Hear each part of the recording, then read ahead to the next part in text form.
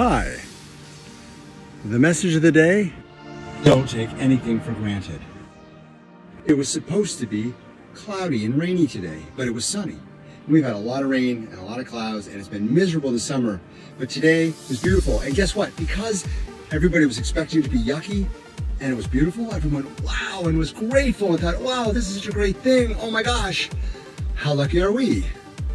They didn't take it for granted. They were grateful for this beautiful weather. So imagine if every day you woke up and when it was beautiful, you were grateful. That would be one more thing to be grateful for. Wouldn't that be amazing? What a life to be grateful for so many things, including the weather. Even if you live in Southern California or Arizona, it's beautiful every day. Why not be grateful? That starts the day off well. That's the message of the day.